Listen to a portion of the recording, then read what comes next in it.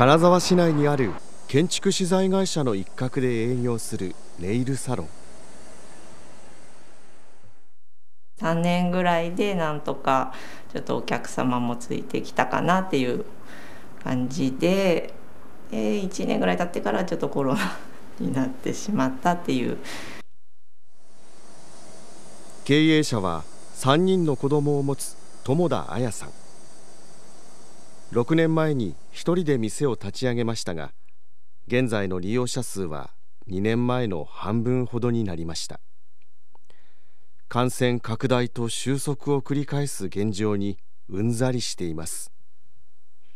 まん延防止出ました。でまたなんか開けたら GoTo トラベルでなんかその繰り返しでなんかすごい振り回されてるなって。でもなんかこんなん繰り返しても多分もう終わらないんやろうなって。いうのはすごく思うか。なんかそこをどうしてほしいとかももうな分からないですけどなんかきりないなって。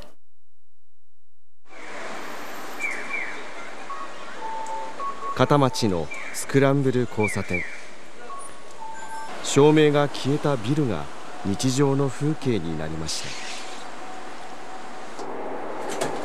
どうぞはいいいですか？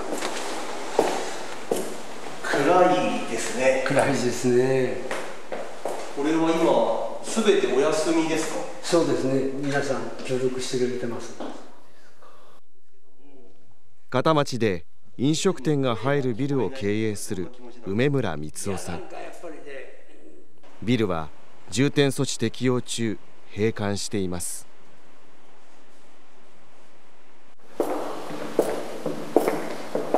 こんな静かなビルっていうのはもう慣れました？いや慣れないね。なんかなかなか慣れないですね。管理する飲食店はおよそ100軒。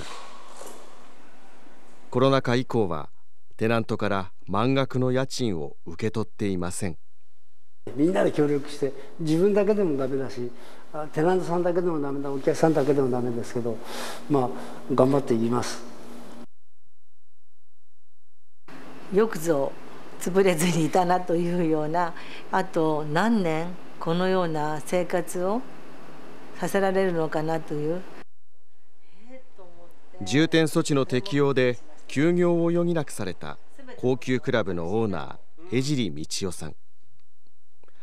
コロナに加え今年は経営に影響を与える大きなイベントが待っています。必ず選挙のある年はお店が暇になるんですよ。さあ今から稼がなきゃいけないという時にまた選挙ですから人の出も少なくなるわけですよね。その意味では大変つらい。夜の世界に続く正念場。飲食業界へのコロナの影響はさまざまな関連産業にも及んでいます。一番ダメージが大きいのは私たちの商売でしたら酒屋さんそれと氷屋さん。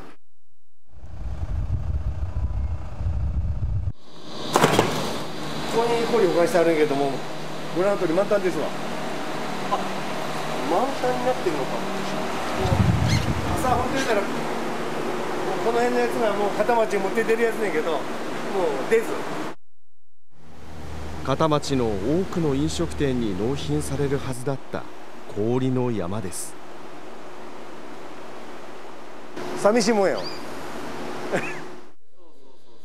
創業およそ100年の蔵元氷業。売上は2年前と比べ8割減りました本当にお店に休まれると わしらの会社の経営自体がもう危ぶまれるような状況ですわ。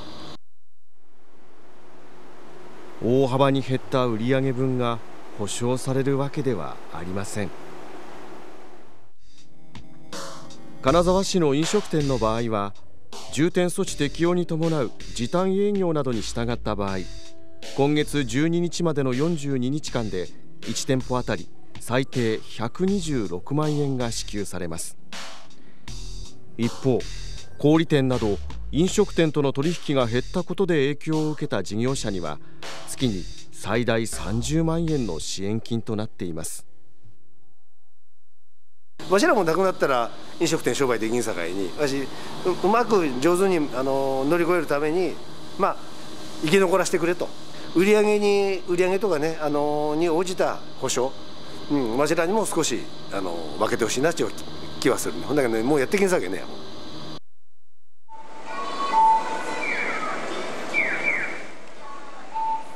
今月2日。片町で取材をしていると。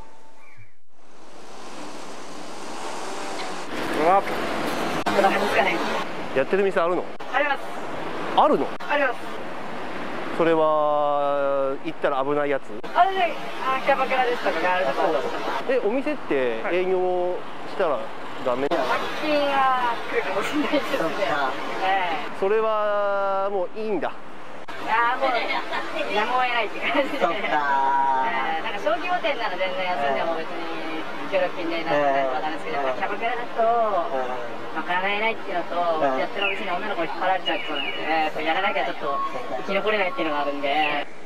営業を正当化する男性。こう続けました。キャバクラなんですけどまあこんなん言ってもじゃあ説得力ないかもしれないけど一回も出てないですからはい。この日から4日後県の時短要請に従っていなかった片町の飲食店2軒でクラスターが発生。県は店名を公表せず未だどこの店だったのか分かりません。こうした状況に憤る人がいます。よろしくお願いいたします。金沢市内で5店舗の高級クラブを経営する理恵さんですと締め付けが緩いんじゃないですか？あれはやっぱり慎むべきですよ。金沢のイメージが悪くなりますよ。一時我慢していただければ。理恵さんが経営する店は全て休業中です。一刻も早い重点措置の適用解除を望んでいます。これ以上ならないでほしいなって危ないと思うところには寄らないこういうお仕事の方々がみんなで手を合わせてしていかないとなかなか無理ですよね。